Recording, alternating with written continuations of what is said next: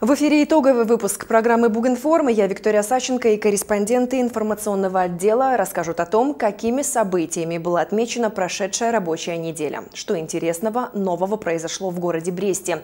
Информационных поводов было достаточно много, потому выпуск будет многоплановым и насыщенным. Коротко о главном. И с граблями-лопатами, и с оптимизмом, и энтузиазмом. На Брещине прошел республиканский субботник. Участие в нем приняли порядка 430 тысяч жителей области. В целом регион заработал около 977 тысяч рублей. Собранные средства будут направлены на благоустройство городов и малых населенных пунктов, ремонт и реконструкцию мемориальных комплексов, подготовку детских оздоровительных и спортивно-оздоровительных лагерей к летнему сезону. Главная площадь города над Бугом готовится к смене зеленого наряда. В Брестском горосполкоме представили проект реновации одного из самых знаковых мест пограничного Бреста. За три месяца текущего года 25 маленьких жителей областного центра отравились бытовой химией и медикаментами. Ирина Альшова о том, к чему приводит родительская халатность.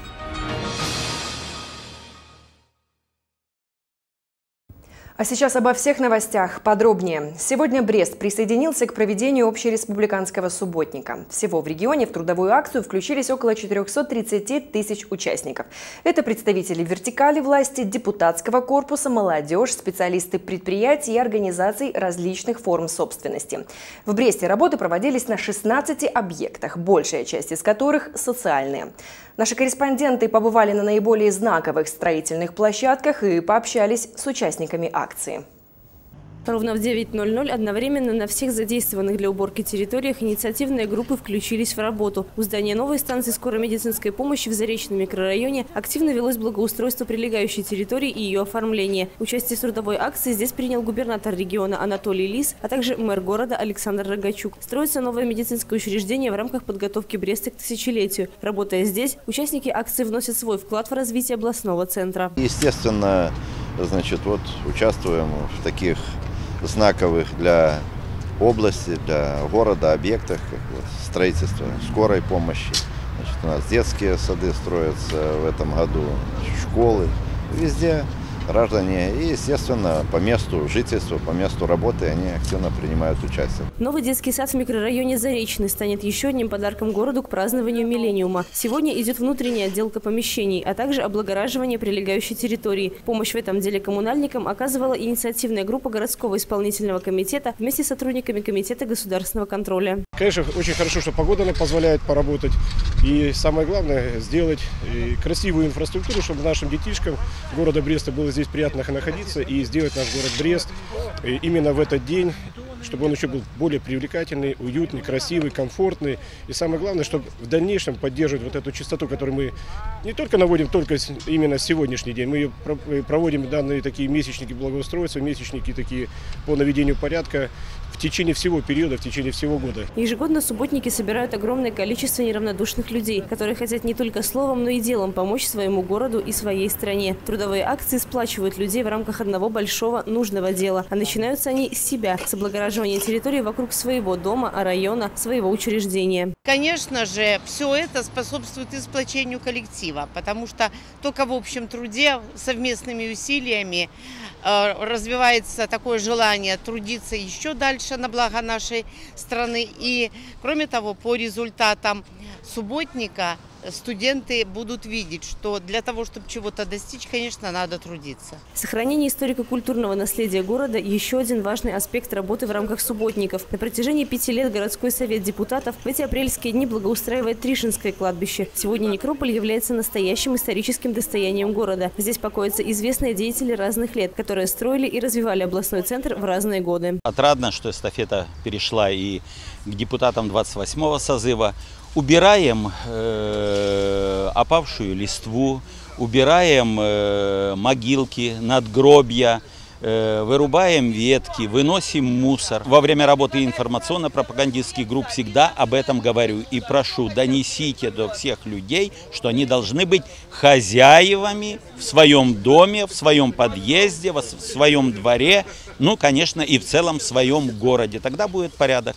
Тогда будет чистота. Субботники провели представители профессий в погонах. Специалисты областного управления МЧС трудились над реконструкцией здания ведомства. Сегодня здесь проходит капитальный ремонт. Личный состав работает во всех подразделениях. Городские ребята работают тоже на своих подразделениях везде. Но поскольку мы готовимся к тысячелетию города Бреста и сегодня ведется активным образом модернизация здания э, пожарной части номер два, где находится здание управления, то весь личный состав сегодня работает здесь, а объем работы довольно большой, поскольку мы и снимаем э, отделочные материалы, и снимаем бетонный пол в гараже, будет там новый заливаться по всем.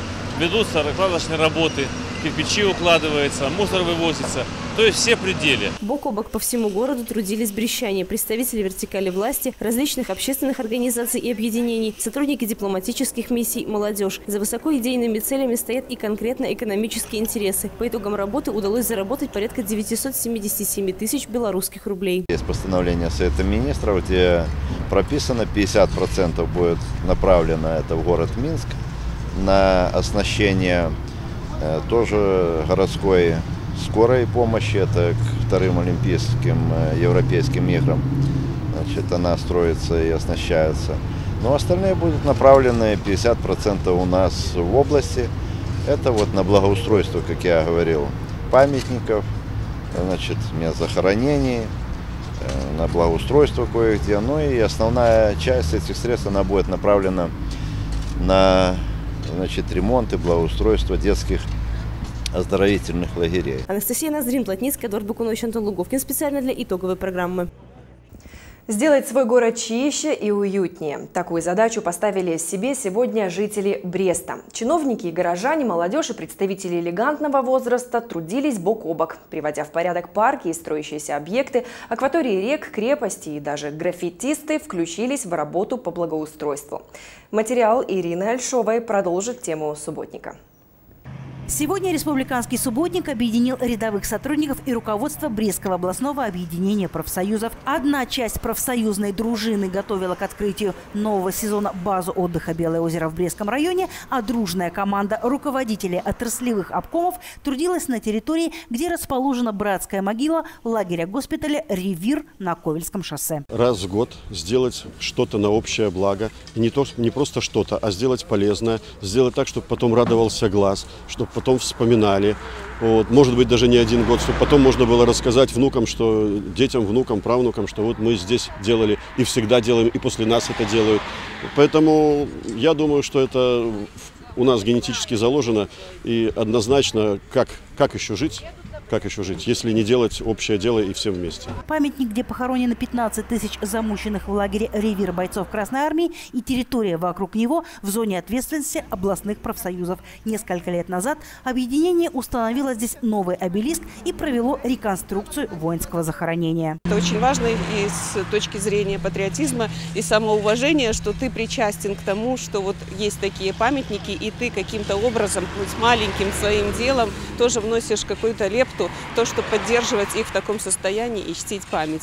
Ведь 9 мая мы всегда традиционно сюда возлагаем э, э, венки, и когда приходишь, и здесь чисто и убрано, ты знаешь, что твоя маленькая частичка в этом есть, что памятник в таком состоянии. Это тоже греет душу. Благоустройство – это не только наведение порядка на земле. По инициативе администрации Ленинского района и районной организации БРСМ прошел конкурс граффити «Брест. Город пограничный». Из 12 заявок жюри выбрало эскизы Ильи Никитюка. Два месяца ушло у Ильи Никитюка на создание настенных картин, которые украсили тыльную сторону гаражей, выходящих на улицу Героев обороны Брестской крепости. Молодому художнику помогал его коллега Виталий Пашкевич. И вот последние штрихи. Я работаю в такой технике. Э, в основном это называется сейчас направление стрит-арт. Э, роспись баллонами на любой поверхности. То есть это можно нанести на, на любую поверхность, на гаражи, какие-то э, стены, ну, нестандартные, то есть даже без штукатурки. Стрит-арт веяние в художественном творчестве молодое, но именно такое граффити способно привнести в унылую уличную повседневность яркие краски и хорошее настроение. Впереди юбилей города, который теперь чувствуется даже на его окраинах. Я готов к любым инициативам нашего города, если э, будут какие-то стены свободные, я готов их расписать. Э, масштабно, даже можно, то есть э, фасады здания, это будет вообще здорово. Тем более к тысячелетию города, ну, это будет вообще очень шикарно, и городу придастся определенный шик, ну, определенный стиль. То есть э, он будет более интересным для туристов, для самих жителей. Ирина Альшова-Один, Свинчкевич, Антон Луговкин, телекомпания Бук ТВ.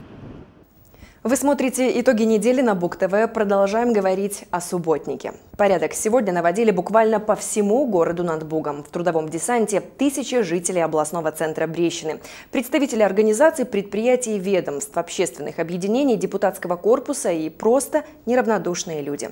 Те, кто понимает, от усилий каждого зависит конечный результат. Тему продолжит наш корреспондент Анастасия Стропко. Предприятия жилищно-коммунального хозяйства за порядком в городе над Бугом следят буквально в режиме 24 на 7. В первых рядах представители ЖКХ и на субботниках. Руководство городского хозяйства продолжило многолетнюю традицию. В рамках инициативы по благоустройству они приводят в надлежащий вид обочины дороги, ведущие в зону отдыха Красный двор. Занимаемся вырубкой сорной растительности, э, формируем кроны деревьев, э, чистим придорожную полосу. Сегодня конкретно работает 30 человек у нас здесь. Это именно аппарат управления. Э, на каждом объекте, на котором, я думаю, вы еще посетите, работают все предприятия, все аппараты управления, все люди сегодня на рабочих местах. Э, наводим порядок во всем городе Бресте. С утра включились в работу и представители администрации районов Бреста. Ленинцы убирали мусор, пожухлую листву и сухостой на Лысой горе, микрорайон Дубровка. Многие жители прилегающих домов используют эту территорию для отдыха и, к сожалению, не всегда оставляют после себя порядок. Брестские москвичи трудились на набережной от улицы Краснознаменной до центра юных моряков. По словам участников, такие мероприятия, помимо практической пользы, еще и лакмусовая бумажка для определения уровня культуры и воспитанности горожан. Сегодня, в принципе, это такой апогей все, всей этой акции благоустройства. Вот, у нас по району достаточно много точек, ну скажу так, что и жилищно-кооперативы, и гаражные массивы задействованы, люди там работают. Вот. Что касается, допустим, сегодняшнего дня, то скажу, что ну, вот, часть э, работников администрации работает вот здесь, в этой Дубраве на Дубровке возле леса. Мы здесь, в общем-то, довольно часто убираем, потому что, скажу так, территория стала немножко лучше, но еще достаточно много мест, где нужно просто-напросто убирать мусор, чтобы и окраины нашего района, нашего города выглядели чистыми. В целом по Московскому району примет участие в субботнике порядка 5000 человек. Кто-то работает на э, рабочих местах, кто-то э, на прилегающих предприятиям территории, кто-то на закрепленных за предприятиями организациями территории. Мы, как администрация Московского района, решили улучшить немножко экологическую обстановку на пойме реки Муховец, поэтому занимаемся здесь э, сбором сухих веток, э, сбором мусора, ну и, так говорится, того, что осталось после зимы. Не остается в стороне от инициативы и депутатский корпус. К примеру, Леонид Брич, депутат Палаты представителей, свой вклад в общее дело решил внести на территории избирательного округа. Парламентарий наводил порядок около источника на улице Ключевой. Инициатива благоустройства э, родника явилась даже не два года тому назад. Она давно родилась. Родилась по инициативе здесь проживающих в первую очередь людей. Конечно, мы эту идею, эту мысль подхватили. Мы, это Берестейский пекарь, еще будучи директором, и взяли как бы шефство. И, конечно, когда э, уже сейчас, будучи депутатом и зная, что э, эту работу нужно и дальше продолжать, конечно, я сегодня счел необходимым именно прийти на субботник, э, как бы малую родину, хотя это, может, не совсем малая родина, но сегодня моя малая родина там, где мои избиратели. Потому я проявил инициативу вместе э, с берестейским пекарем, с Белой Русью, для того, чтобы ну, привести в соответствие то, что еще не успели инициативные люди, которые здесь проживают, это сделать. На этой площадке, как, впрочем, и на многих других в городе, в рядах активных участников общественное объединение «Белая Русь». Каждая хозяйка своего дома всегда наводит порядок, особенно после зимы, когда все уже все застоялось. И, конечно, замечательно, что в городе вот проводится такая, такое хорошее хорошее мероприятие. Конечно же, и в первых рядах и активисты Белой Руси. Масштабные работы развернулись и в крепости рядом с патриотическим центром. Молодежь, военные, а также работники исполнительных комитетов готовили площадку для проведения военно-тактических игр. Работа проделана немалая. Э, ну, так хочу сказать, что здесь у нас эта территория не использовалась. Э, вот буквально ну, 15 лет она здесь не использовалась. И приятно, что мы вот э, таким нашим трудом ну, воплощаем проект по насыщению именно вот этой территории новым содержанием. Я думаю, что здесь будет ну, интересное место для изучения военной истории, для приобщения к нашей общей истории, к Брестской крепости. Очень почетно здесь трудиться и с большим энтузиазмом все, в принципе, пришли сегодня в субботник и проявляют себя в труде вот здесь, на этом объекте. Анастасия Стропко, Андрей Щерба, Антон Луговкин. Специально для итоговой программы.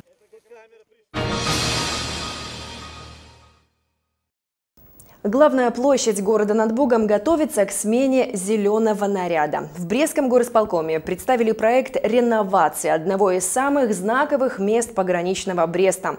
На презентацию пригласили представителей управления архитектуры и градостроительства Брестского горосполкома, жилищно-коммунального хозяйства и жителей города, неравнодушных к переменам, происходящим в Бресте. На обсуждении проекта побывала и наша съемочная группа. Цель встречи – продемонстрировать горожанам проект реновации главной городской площади Бреста. В период активной подготовительной работы к празднованию тысячелетия города над Бугом «Зеленое сердце Бреста» требует основательной перезагрузки. Нынешнее хвойное убранство, голубые ели, нуждаются в замене на новые, молодые и более устойчивые к современному климату и городским условиям. Если ели болеют, да, они, ну, эти болезни переходят от одного дерева к другому. И если мы оставим старые ели, болезни болезни могут перейти на новые. Плюс, э, если новые ели будут расти в затенении старых, они потеряют форму кроны, они будут расти хуже, они будут расти на одну сторону. Э, то есть, ну, технически лучше все-таки убрать целиком, э, сделать полную замену. Строительство и благоустройство площади Ленина было завершено в 60-е годы. Сейчас нынешним елям порядка 70 лет. Для деревьев, растущих в городе, это приговор. Поэтому, согласно плану реконструкции зеленой зоны, разработанного по поручению главы города Александра Рогачука, на площади будут высажены 22 голубые ели сорта хупсия. В первые два года максимальный прирост молодых деревьев составит порядка 20 сантиметров. Это связано с периодом адаптации елочек в новых условиях. Данный сорт э, свойственно ему то, что он выдерживает засуху. То есть он любит солнце. Если ели не любят очень солнце, то этот сорт хупси, он более засухоустойчив и солнцеустойчив. Тем более, что его хвойное одеяние, как вы говорите, на солнце более сохраняет сизый цвет, чем в тени. При разработке плана реноваций сохранена главная идея. Гордость площади «Голубые ели» останутся на месте. Поменяется лишь их облик. Дополнительно вокруг фонтана появятся живые бордюры из самшита, добавится несколько можжевельников, туй и горных сосен, а также клумбы. Все работы по демонтажу старых елей и посадке новых займут около трех недель. Общая стоимость проекта составляет порядка 55 тысяч рублей. Основные особенности это будет впервые в городе, который будет применяться при посадке елей, это подземный капельный полив. Чтобы, значит, нормально и по, согласно норме СТБ сделать подземный капельный полив, надо полностью убрать старую корневую систему, полностью заменить грунт, сделать дренаж, песок, кислую почву, затем сделать капельный полив в земле и садить елки. Ну, сначала садим елки, а потом делаем капельный полив вокруг. Это первые в городе ну, будем надеяться, все будет хорошо. Надо отметить, что основная масса жильцов, чьи дома расположены на площади Ленина, поддержала идею смены зеленого убранства. Обеспокоенность вызвали лишь проблемы, связанные с вопросами подведения системы полива за счет центрального водопровода и фасады домов, которые после сноса ели необходимо обновлять. Конечно, я понимаю. Вот эти ели, которые здесь, э, когда перенесли большие, сразу они закрыли фасад красиво. Я тоже ожидала, что я пришла специально на э, программу эту, перед... ну, навстречу, ожидала, что ели будут достаточно высокие. Но, может быть, очень правильно, что для будущих поколений, пока они поднимутся, подрастут, и мы будем смотреть за ними, как они э, растут, взрослеют и так далее. Поэтому, но то, что их менять нужно, это однозначно. Реновация площади Ленина в Бресте начнется совсем скоро. До конца мая все работы должны быть завершены. Чтобы в следующем году, когда Брест отметит знаковый юбилей, обновленный вид центральной площади гармонично вписался в современный облик исторической части города над Бугом. Ирина Альшова, Григорий Пекарский, Антон Луговкин. Специально для итогового выпуска Буг ТВ.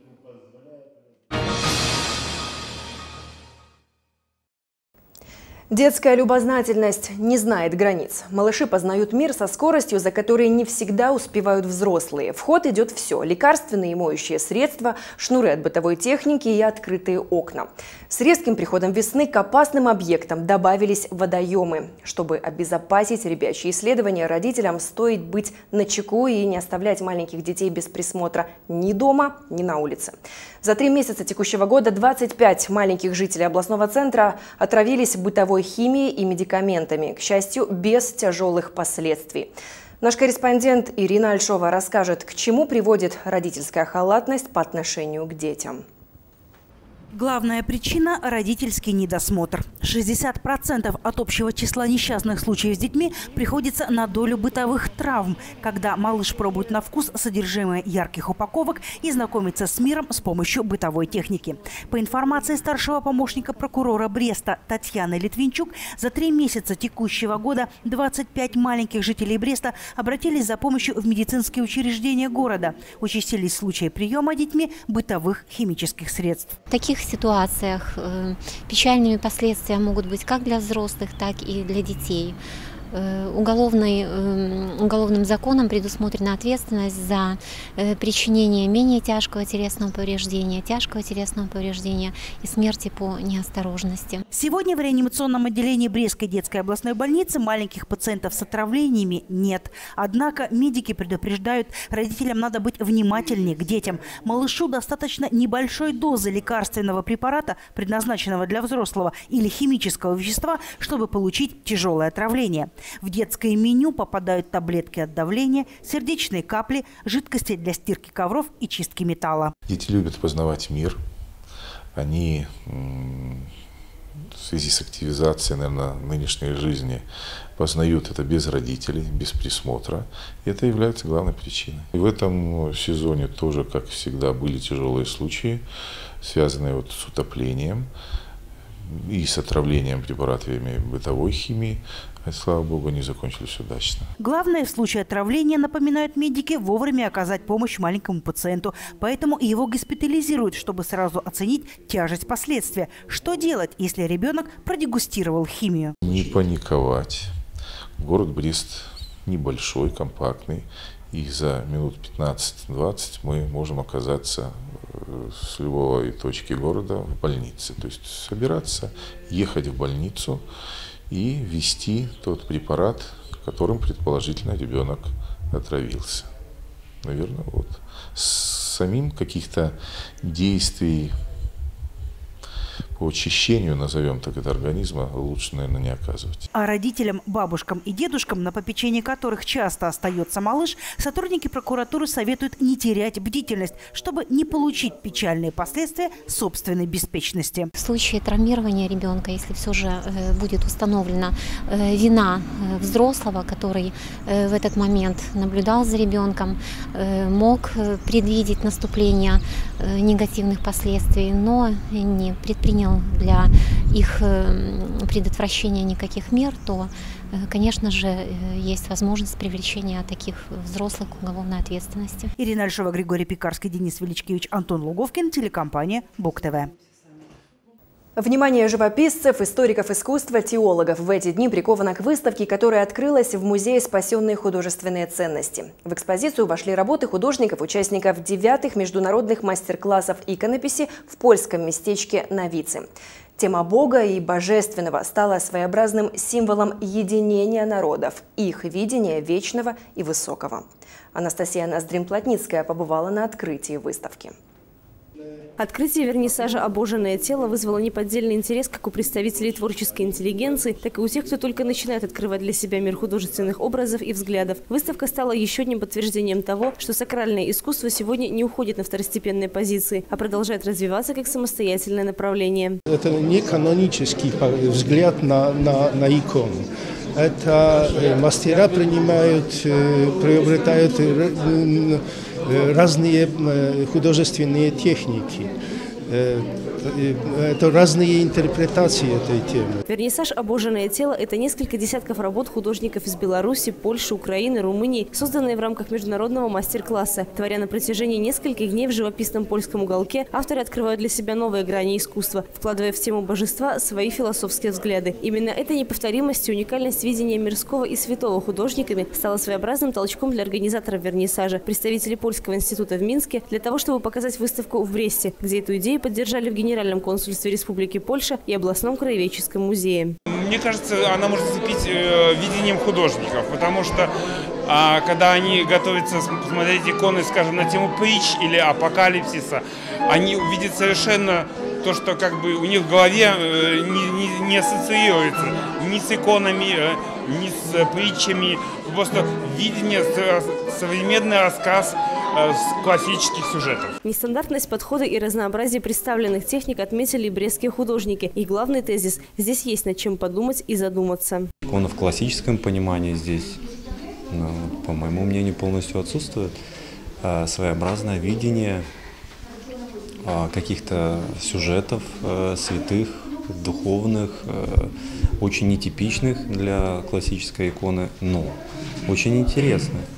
А, каждый мастер по-своему оригинален, каждый мастер по-своему по-своему понимает смысл а, духовности бытия. В Бресте вернисаж пробудет до 13 мая. Это значит, что у жителей и гостей областного центра еще есть время, чтобы приобщиться к многогранному миру искусства и философии.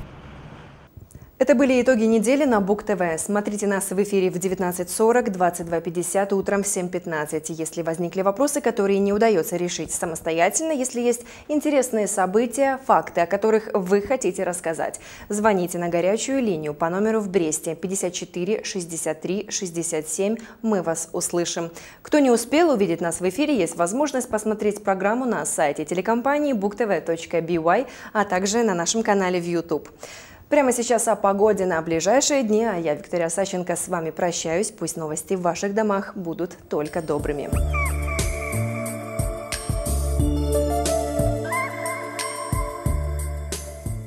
22 апреля Беларусь окажется под влиянием прохладной, неустойчивой воздушной массы, поступающей с северо-запада Европы. День воскресенья в Бресте будет солнечным и без осадков. Ветер северо-западный умеренный. Температура воздуха минимальная ночью плюс 6-8, максимальная днем 17 градусов.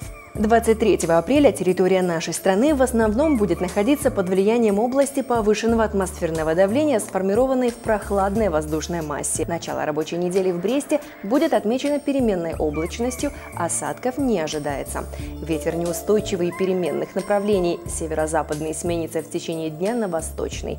В ночные часы будет прохладно, не более плюс 8 градусов, до 18 прогреется воздух в течение дня.